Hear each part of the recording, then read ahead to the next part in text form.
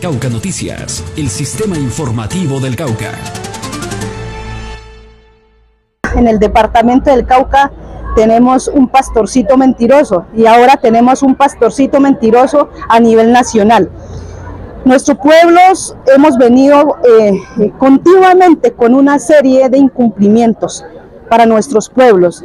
Nosotros como pueblos de AISO nos, nos merecemos respeto. Nosotros los pueblos de AISO consideramos que el gobierno nacional debe tener en cuenta que nosotros también hacemos parte de, eh, de nuestro país y de Colombia. Por lo tanto, él debe escucharnos y garantizar la protesta social en las calles, así como usted, señor presidente, ha invitado a las organizaciones, a las eh, diferentes comunidades de Colombia a salir a las calles. Pues vamos a estar en las calles, señor presidente, y vamos a esperar que ustedes nos traigan el decreto acá firmado en, el, eh, en la vereda del túnel, municipio de Cajibío. Acá los vamos a esperar.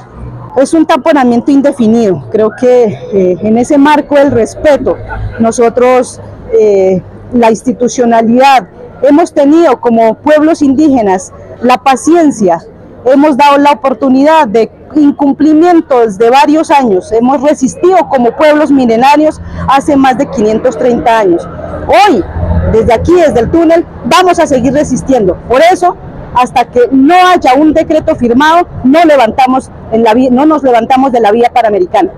El gobierno nacional y la institucionalidad, creo que es muy importante que en el marco del gobierno del cambio, que si el cambio, queremos el cambio para nuestras comunidades, es respondiéndole, dándole una respuesta contundente a los compromisos fallidos en diferentes gobiernos y que hoy también nos ha fallado. Entonces esperamos que nuestra eh, responsabilizamos al gobierno nacional por cualquier situación que pueda presentar en la Panamericana. El marco constitucional, nosotros estamos eh, en todo el derecho, el marco constitucional, en el marco legal, en el marco legítimo de nuestros pueblos indígenas, en el marco legítimo a la protesta, poder reivindicar nuestros derechos y por eso exigimos la presencia inmediata del señor presidente acá en el túnel.